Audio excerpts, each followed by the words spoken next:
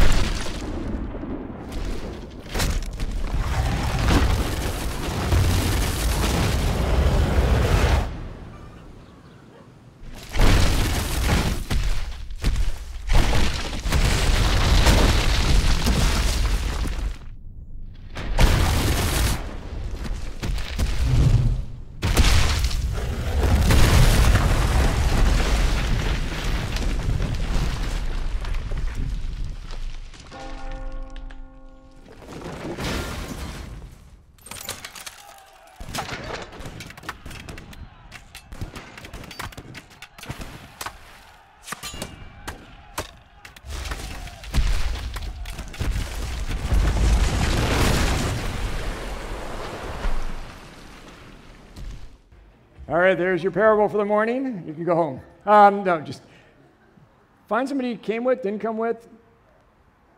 Tell them what you think it's about. And some of you are going, I have no idea. Can you show it again?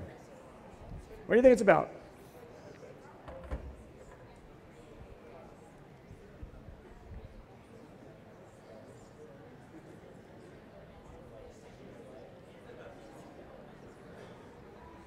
By the way, it's okay to have a bunch of different ideas of what it's about. Parables are kind of like that. They can they have lessons on many levels. So somebody give me an idea of what what do you what what was it about to you? Gratitude. Okay, that's what it was. When I saw that video, I went, "That's a parable on gratitude," you know. And that's, to be honest with you, that's that's what we're going to talk about today. Today, and I, and I have a confession to make. Many of you know that we, we take a lot of kids to Mexico, and I personally have been taking uh, young people and adults to Mexico um, from, from way back into the late 60s, uh, all through my whole ministry and youth ministry, and even here uh, uh, as a teaching pastor here.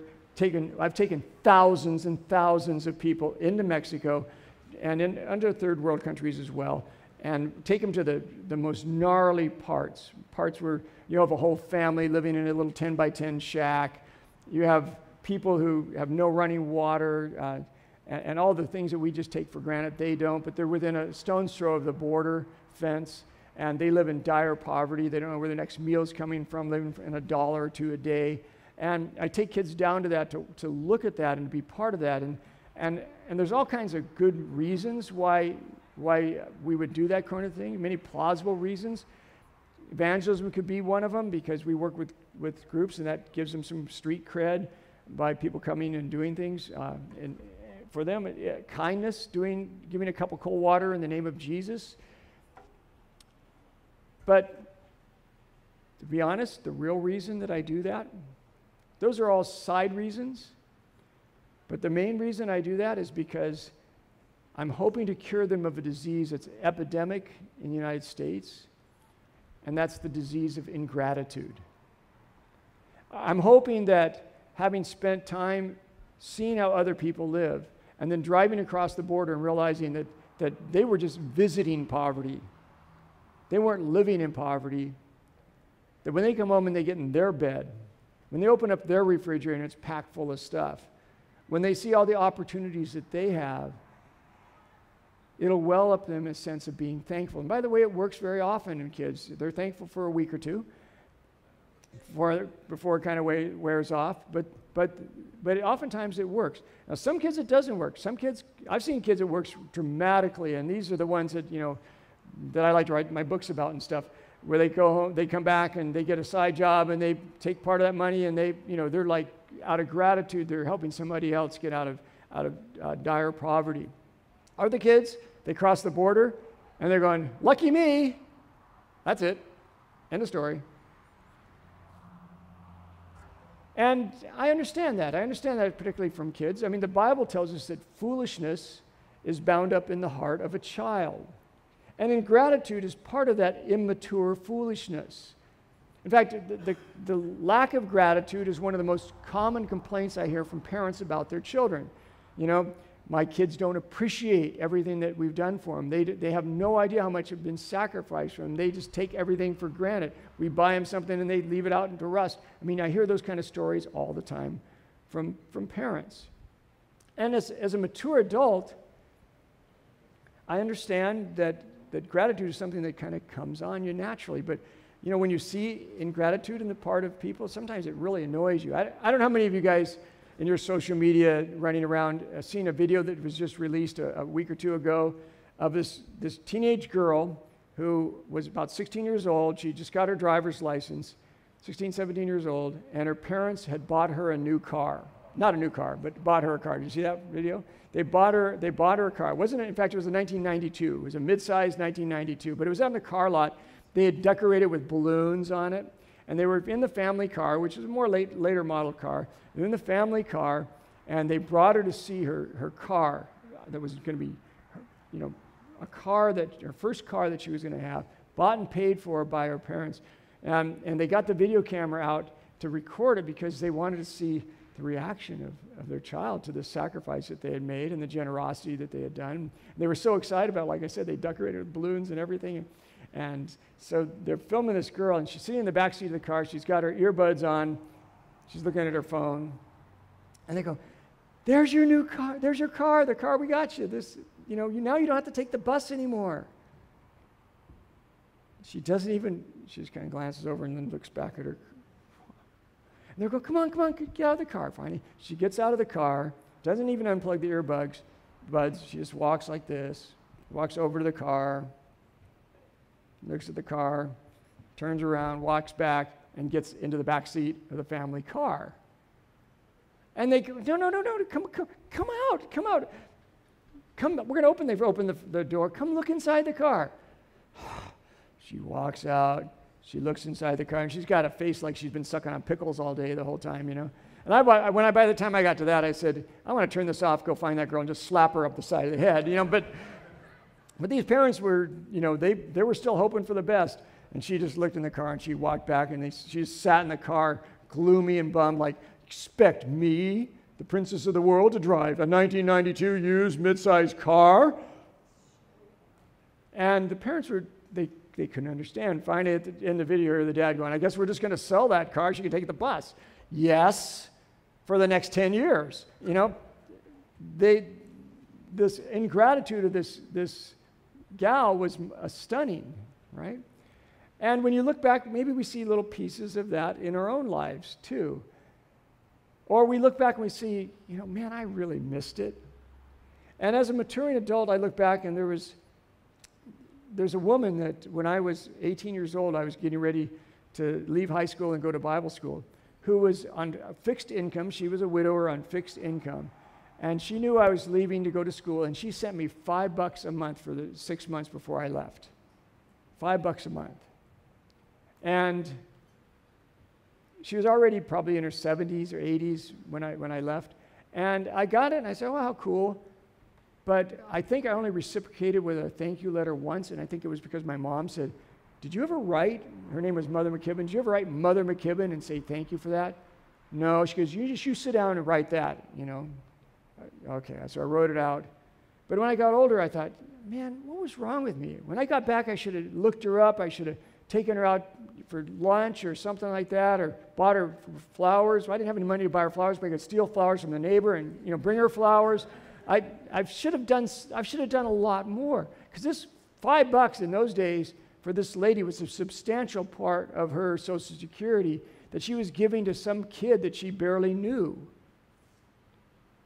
And I felt, wow, I was such an ungrateful little jerk. And I was on my way to Bible school.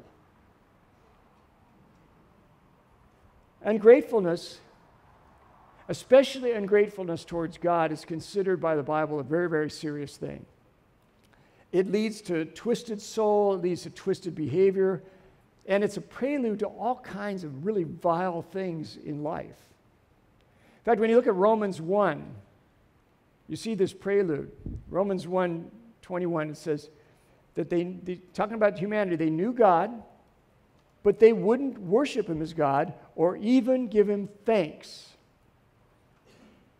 And they began to think of foolish ideas of what God was like. And as a result of this unthankfulness, this ingratitude on their part,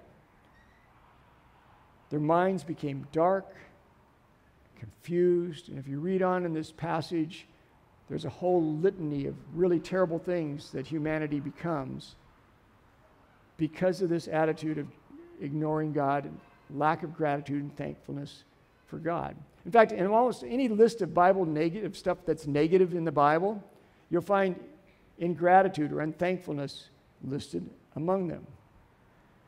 So I was thinking, well, where does this all come from? Well, we know it comes from human nature, sort of the sin nature, and from immaturity.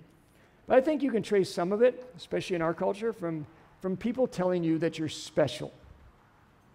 And people, you know, we live in a culture that's obsessed with letting everybody know that they're special. I mean, if your team loses in their last place, they haven't won one game, you get an award just because you're special. Well, I have, I have some really sad news for you. If people have been telling you that you're special, okay, you're not. I'm sorry, you're just not. You are not special. Okay? Now, in fact, think of this verse. Did you ever think that the Bible does not say that while we were yet special, Christ died for us? It says, while we were yet, oh, you know that verse. Okay, very good. So, how special are you? Not very special. Okay, now now you say, well, yeah, but I, what about significance? God thinks we're so worth loving that He died for us, but what makes us significant is His death on the cross and what He wants to do as a reflection of Himself in us. That's how human beings become significant. We are not in and ourselves all that particularly special. Right? And, and there are people that are famous that are not significant. And there are a lot of people who nobody's ever heard of that are extremely significant. And, and that's what God makes us. He makes us significant, not necessarily special. Right? And so people get caught up in that kind of thing. And when you think, when you somehow believe that you're extra special, and you can be special even in a victim type of way. Well, I'm special a case because I'm a victim because people, and, and I ought to be treated, I deserve to be treated in such a way because I'm a victim of this or a victim of that. When we think that we deserve special treatment because we're special, it starts this entitlement thing in our head that we're entitled to things, that we deserve things just because of who we are. And the more entitled you feel, the less gratitude you have because why should you be grateful to something that's owed you? right? Why should you be grateful to something that you deserve by nature of your life or whatever? And so you see people get this kind of attitude, and gratitude just vanishes when that happens. And it happens when we have expectations that aren't met. Because we're special, because we we deserve something, we have this expectation. That little girl in the car, she had an idea of who she was and what she deserved to drive, and it certainly was not a 1992 used mid-sized car. She had higher expectations, and so she, she virtually showed no, added, no gratitude towards that. That makes all of us want to go and wring her neck. But I was thinking about that. I, I remember when I was like in eighth grade. When I was in eighth grade, my, my, my family ended up as a single family household. My mom was struggling to get by, and I was really big into surfing. And I had borrowed surfboards. I kept borrowing guys' surfboards. And whenever I borrowed it too long, they wanted their surfboard back, and I'd go borrow somebody else's surfboard. And that's how I was surfing, is on borrowed surfboards. And so for Christmas, when Christmas came up, I, I wanted a surfboard. And in, in that era, this is right after the movie The Endless Summer came out. the holy grail of surfboards, and this is for all you non surfers, the holy grail of surfboards was a Mike Hynson model. Mike Hynson was one of the guys in, and they were made in San Diego where I lived. And it was a Mike Hynson, Gordon Smith Mike Hynson model, which was the holy grail of surfboards. So in the surf magazines and stuff, when I told my mom I'd really like a surfboard for Christmas, I made sure to put a marker on the page. It had the Mike Hynson model. And just in case you didn't get that one, I, I put it, another one on the page. It had the Greg Noll, the cat, which was another board that I really wanted, you know. And so there, and that's, that's that's the logos that you wanted on your surfboard, right? To show how cool you were, and, and that was the thing every, every kid wanted, those kind of surfboards. So it was Christmas morning. And I came out, and to my astonishment, there's a surfboard laying there. Okay? It was used, it was used, but there's a surfboard laying there. But it did not have a Mike Hynson sticker on it. It did not have a Greg Noll decal on it. Instead, it had this decal. Any of you know, any of you know that surfboard make, that model? Any of you ever ride one? I did. It was made by Sears and Roebuck. Seriously, Sears and Roebuck put out a surfboard. It was a, what we call pop outs in those days, which meant they were just manufactured in a factory someplace. Nobody took any special kind for them. And, and I have to be honest, I was an ungrateful little brat about that surfboard. Now, looking back at it, I realized, you know, I was all caught up in what my friends would think because, you know, you walk down there with a sport flight surfboard and every right away, where'd you get that? Sears and Roebuck, right? Ha, you know. It was like the epitome of uncool. And, and yet, my mom scraped together all the money she could. She, she couldn't even swim, let alone think about surfing. She knew nothing about it. And she was desperately trying to, to do something out of love and sacrifice for me. And I went to all of her efforts. Now, maybe you've got a story like that. But and gratitude comes from that kind of a thing. It even comes when we get caught up in doing good. When we get so involved in doing things that are good, good things, that we lose focus on the one whom allow us to get there to do those good things in the very beginning. The Old Testament tells a story about a group of people who were slaves under the thumb of a dictatorial regime. And through God's intervention, they were allowed to escape, an incredible escape story. And then for 40 years, they were guided and provided for in a wilderness before they were entered a promised land that were given of their own. And at the very end of all of that, after all those escapades and close calls and miraculous things that took place, which you can find in the book of Exodus, there's a little, real interesting little passage. Because even though this is written to the Jews, I believe it's written to all of us.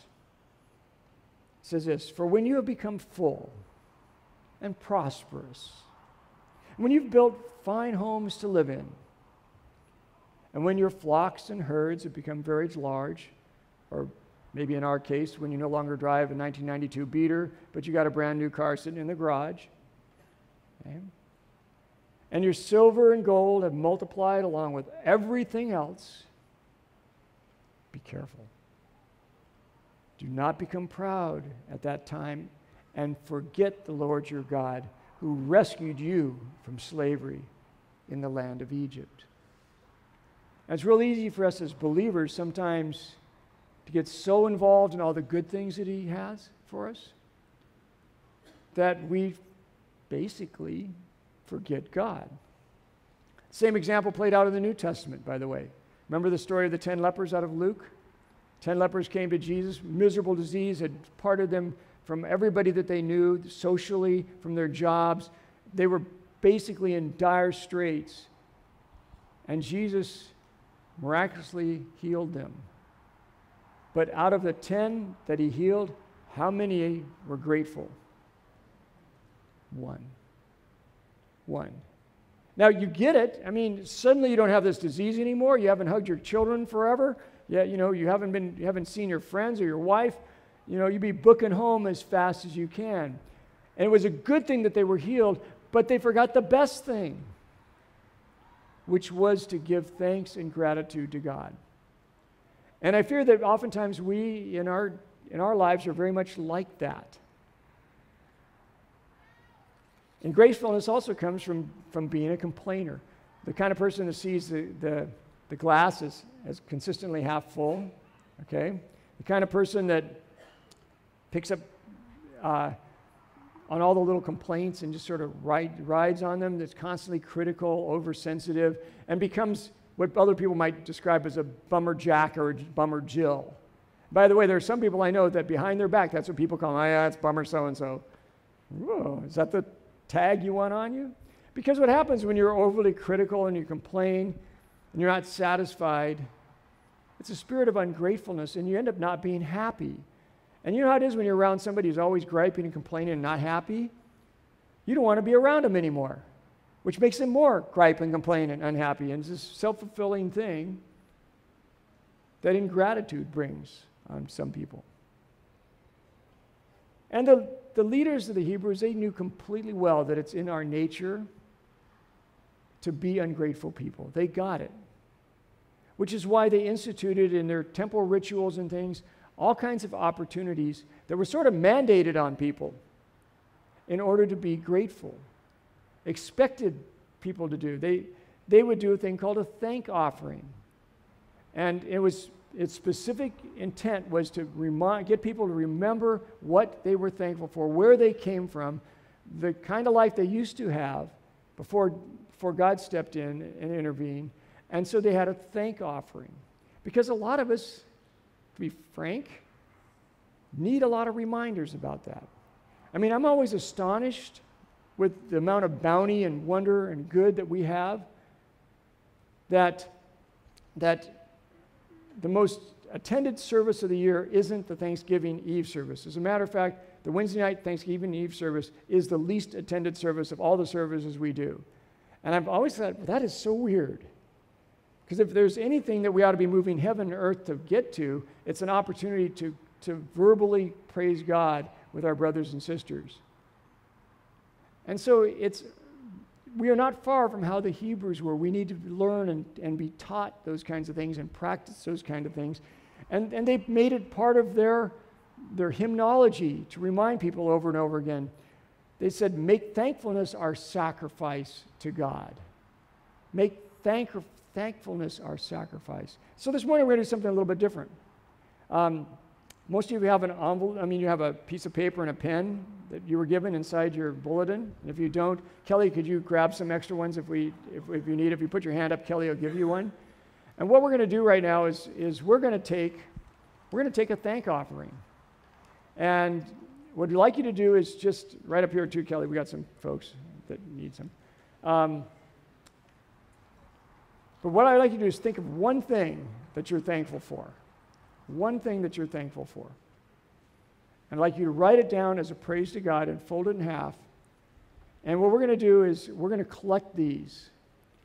We're not going to read them. We're not going to read them out loud because this is your expression to God. This is a thank offering. We're imitating the Hebrews. They brought goats, pigs, I mean not pigs, goats, chickens, stuff like that, um, birds, but but they didn't but they didn't do what we're doing right now. And what we're doing right now is, is giving our words to God, directly to God, as a thank offering. So we're going to play a little tune while you write something, and then we're going to, there's some more folks over here that need.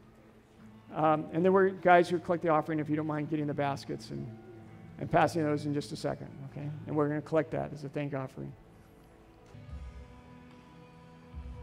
As the bowl is going around, let me point out one other thing. Um,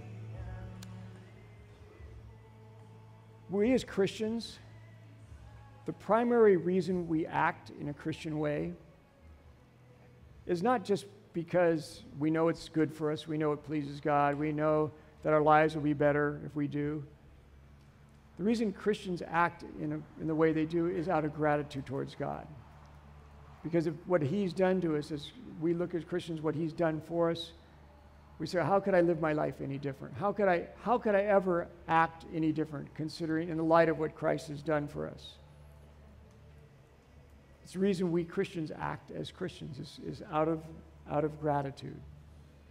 And that gratitude is one that spills over in our everyday behavior so that we act that out when we look and we, we, we begin to look through the, the world not in the eyes that we're special and we deserve something, but there were just people that were rescued out of slavery, snatched out of the flames.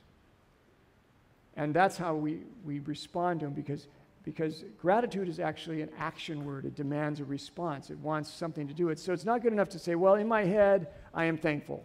In my head, yeah, I really appreciate my parents. In my head, I appreciate this person, that person. In my head, I do that. What good is that? It's a good first step, but it's an action word and means it, it demands a response. And for some of you, that might be just what we did right now to, to just take the moment to verbally respond to God, just to offer prayers of, of thanksgiving. For some, it might be just take a step further and, and write a thank you note or pick up the phone or shoot an email to somebody and go, you know what? I really appreciate you. Like I said, we're not going to collect and read these, but you just participated in a thank offering this morning because gratitude is important. So, in closing this morning, I thought I would do something politically incorrect. I know that's novel for you if you know me, but since we have a national holiday coming up on, on Thursday, I thought it might be interesting to allow a politician to have the final word this morning. And uh, so, in closing this morning, we're going to have a few last words that actually come from the White House itself. And, and look, yes, I know that this president knows that he is speaking to a divided nation, and I know that many think he's a buffoon. But don't storm out. Please hear him out, because I think, I think this president nails it. So we're going to give you a chance to hear from the White House this morning. It is the duty of nations as well as of men to own their dependence upon the overruling power of God, to confess their sins and transgressions in humble sorrow, yet with assured hope that genuine repentance will lead to mercy and pardon, and to recognize the sublime truth announced in the Holy Scriptures and proven by all history that those nations only are blessed whose God is the Lord. And insomuch as we know that by his divine law, nations, like individuals, are subjected to punishments and chastisements in this world. May we not justly fear that the awful calamity of civil war, which now desolates the land, may be but a punishment inflicted upon us for our presumptuous sins, to the needful end of our national reformation as a whole people? We have been the recipients of the choicest bounties of heaven we have been preserved these many years in peace and prosperity. We have grown in numbers, wealth, and power as no other nation has ever grown. But we have forgotten God. We have forgotten the gracious hand which preserved us in peace and multiplied and enriched and strengthened us. And we have vainly imagined in the deceitfulness of our hearts that all these blessings were produced by some superior wisdom and virtue of our own. Intoxicated with unbroken success, we have become too self sufficient to feel the necessity of redeeming and preserving grace, too proud to pray to the God that made us. It has seemed to me fit and proper that they should be solemnly, reverently, and gratefully acknowledged as with one heart and one voice by the whole American people.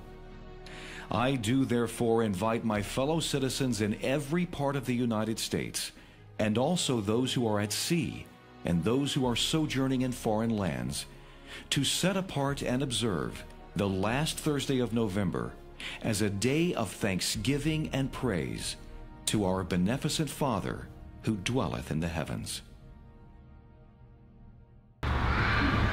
We'll give Abe